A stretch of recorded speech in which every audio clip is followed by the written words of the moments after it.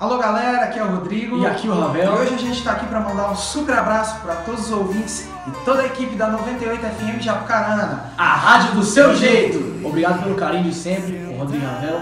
Tamo junto. Valeu. Apucarana ouve 98 FM. 98. Olho pro lado e não vejo você, coração.